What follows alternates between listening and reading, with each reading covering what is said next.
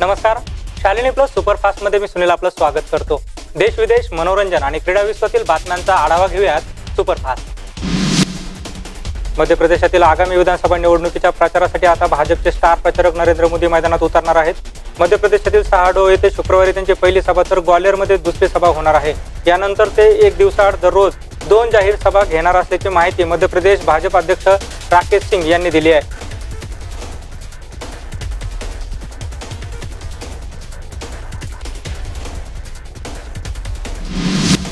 भाजपचे अध्यक्ष अमित शहा यांनी गुरुवारी माजी पंतप्रधान मनमोहन सिंग यांच्या एका विधानाचा दाखला देत काँग्रेसला कोंडीत पकडण्याचा प्रयत्न केला. मनमोहन सिंग यांनी पंतप्रधान असताना म्हटले होते की देशातील साधन संपत्ती आणि स्रोतांवरती सर्वप्रथम अल्पसंख्याकांचा हक्क आहे. मात्र नरेंद्र मोदी पंतप्रधान झाल्यानंतर ही परिस्थिती बदलली. हे सरकार आदिवासी आणि गरिबांचे आहे. हे मोदींचे पहिले वाक्य होते याकडे अमित शहा यांनी लक्ष वेधलं.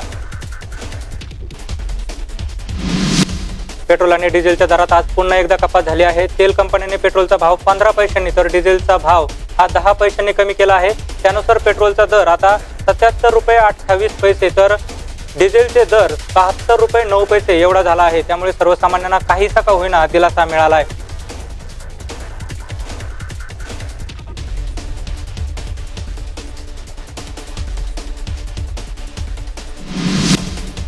करमाळा तालुक्यात करमाळा तालुक्यात शॉर्ट सर्किट होऊन दीपक झेंडे या शेतकऱ्याच्या दीड एकर ऊस आणि पस्तीस नारळांची झाडे जळून खाक झाल्याची घटना समोर आली आहे. यापूर्वी देखील या शेतकऱ्याचा अर्धा एकर ऊस शॉर्ट सर्किटमुळे जळाला होता. याआधी अशीच घटना घडल्याने या शेतकऱ्याने एमएससीबीच्या अधिकाऱ्यांना कळवले होते. मात्र त्यावेळी दखल घेतली नसल्यामुळे पुन्हा तशीच घटना घडल्याने शेतकऱ्याने तीव्र नाराजी व्यक्त केली आहे.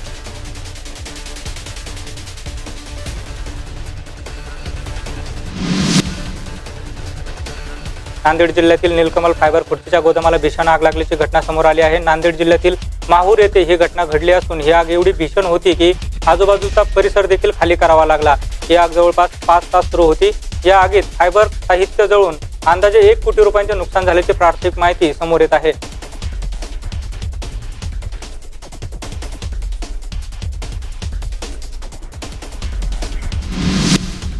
हरियाणातील डान्सर आणि अभिनेत्री सपना चौधरीच्या कार्यक्रमामध्ये गोंधळामध्ये एका व्यक्तीचा मृत्यू झाल्याची दुर्दैवी घटना समोर आली. बिहारमधील बेगुसराय येथे सपना चौधरी हिच्या कार्यक्रमाचे आयोजन करण्यात आले होते. दरम्यान अपेक्षेपेक्षा जास्त गर्दी झाल्याने गोंधळ उडाला. त्यावेळी झालेल्या चेंगराचेंद्रीमध्ये एकाचा मृत्यू झालाय.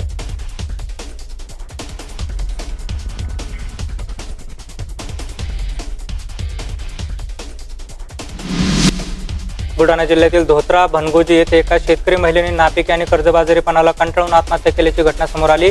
शेतात स्वतःच शरण रचून महिलेने आत्महत्या केली आहे. या घटनेने परिसरामध्ये खळबळ उडाली आहे.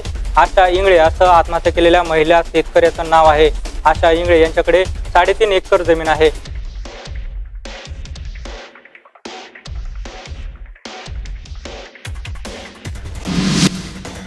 औरंगाबाद जिल्ह्यातील खुलताबाद येथे हिंदू मुस्लिमांच्या ऐक्याचे प्रतीक समजल्या जाणाऱ्या हजरत जरजरी जर बक्ष यांच्या सातशे बत्तीसाव्या उरुस महोत्सवास आजपासून सुरुवात झाली आहे. दुपारी चार वाजल्यापासून संदल मिरवणुकीला सुरुवात करून उरुस महोत्सवाला सुरुवात करण्यात आली. विशेष म्हणजे या महोत्सवात हिंदू मुस्लिम बांधव मोठ्या संख्येने सहभागी होतात. म्हणूनच या महोत्सवात सर्व धर्म समभावाचे प्रतीक मानले जाते.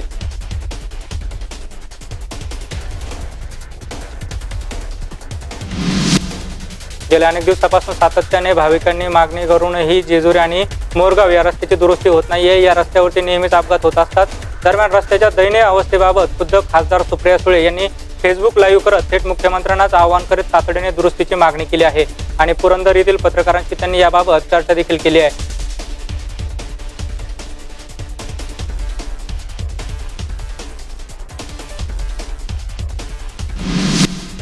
परभणीतील सोनपेठ येथील कापड व्यापारी अर्जुन पैजने यांनी आपल्या राहत्या घरी पहाटे पाच वाजण्याच्या सुमारास आत्महत्या केल्याची घटना समोर आली.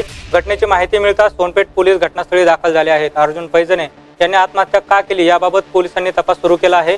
या घटनेने सोनपेठ परिसरामध्ये एकच खळबळ उडाली आहे.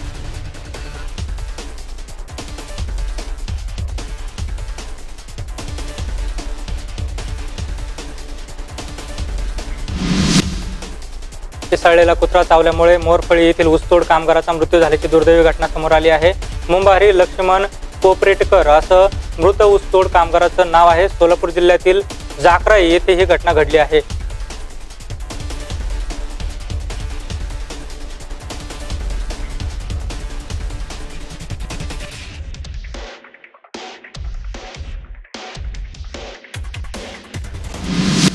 सेवाग्राम पोलीस स्टेशनच्या हद्दीत एका अल्पवयीन मुलासोबत अनैसर्गिक कृत्य करणाऱ्याला पोलिसांनी जेरबंद केला आहे.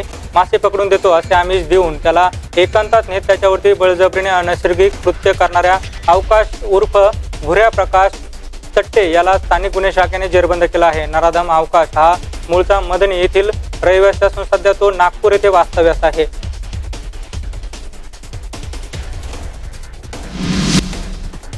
अभिनेत्री शिल्पा शेट्टी हिने शिर्डी साईबाबांचे दर्शन घेतले आहे. यावेळी शिल्पाने साईबाबांच्या चरणी सोन्याचा मुकुट अर्पण केला आहे. शिल्पा शेट्टीने बाबांच्या दुपारतीला हजेरी लावत साई समाधीचं मनोभावे दर्शन घेतलं. यावेळी शिल्पासोबत राज कुंद्रा आई मुलगा आणि बहीण समिता शेट्टी ह्या देखील होत्या.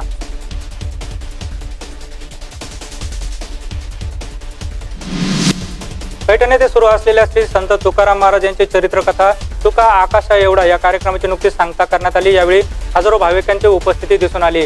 हरिभक्त परायण समाधानजी महाराज शर्मा यांच्या अमृतवाणीतून कथेचे विवेचन करून कार्यक्रमाची सांगता करण्यात आली.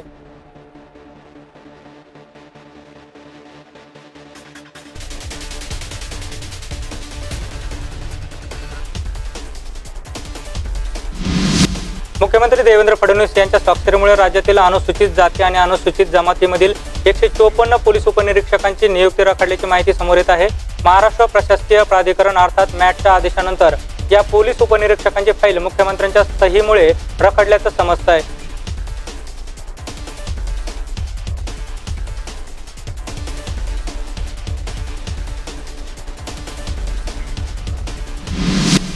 मुंबईत कचरा उचलणाऱ्या गाड्यांवरील सफाई कर्मचाऱ्यांनी संप पुकारला आहे. त्यामुळे मुंबईच्या सर्व चोवीस वार्डांमध्ये कचरा कोंडी निर्माण झालेली आहे. काम बंद असल्याने मुंबईमध्ये कुणीही कचरा उचललेला नाही. महापालिकेने नव्या कंपनीला कंत्राट दिल्याने सफाई कामगारांमध्ये नाराजी आहे.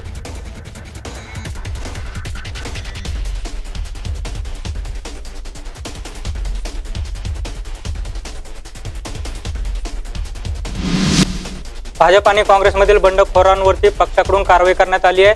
उमेदवारी मागे घेण्याचा कालावधी उलटल्यानंतर ही बंडखोरी केलेल्या भाजपतील अकरा जणांवरती निलंबनाची कारवाई झाली आहे. तर काँग्रेसमधील पक्षाविरोधी कारवाई करणाऱ्या चार जणांची हक्कलपट्टी करण्यात आली आहे.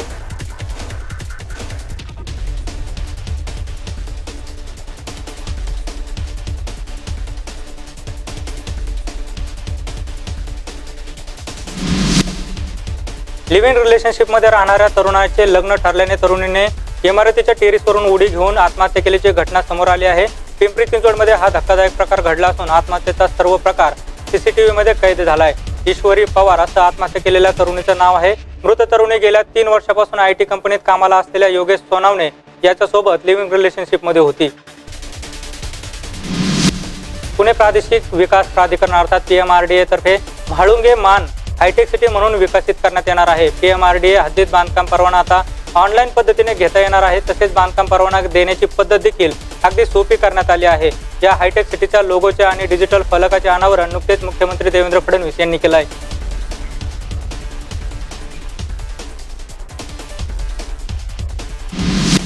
पुण्यात एक जानेवारीपासून हेल्मेट सक्ती करण्यात येणार आहे. पोलीस आयुक्तांनी हेल्मेट सक्तीचा निर्णय घेतला आहे. पोलीस आयुक्तांनी नवीन वर्षाच्या सुरुवातीपासून न्यायालयाच्या आदेशाची अंमलबजावणी करण्याचा निर्णय घेतला आहे. महत्वाचं म्हणजे याआधी देखील पुण्यात हेल्मेट सक्ती करण्यात आली होती. मात्र नागरिकांच्या विरोधामुळे त्याची अंमलबजावणी होऊ शकली नव्हती.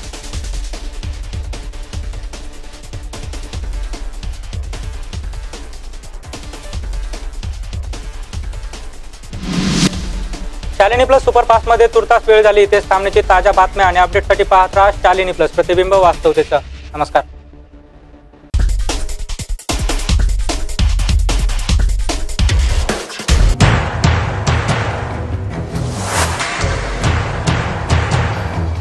शालिनी प्लस आपल्या प्रत्येक समस्येच्या समाधानाकरता सादर करत आहे. सामान्य जनांचा आवाज बुलंद करणारा कार्यक्रम जनमंच. आपण कोणत्याही सरकारी अथवा गैरसरकारी खात्यापासून त्रासलेले आहात? घर दुकान किंवा सामान खरेदीमध्ये आपली फसगत झाली आहे. आपलं म्हणणं कुणी ऐकून घेत नाही. तर आम्ही करत आहोत आपला आवाज बुलंद. आम्ही करू आपल्या समस्येचं संपूर्ण निराकरण. शालिनी प्लस पर्यंत पोहोचवा आपल्या समस्या. हो पण कागदपत्रही सोबत आणा. जनमंच आहे आपल्यासाठी योग्य व्यासपीठ.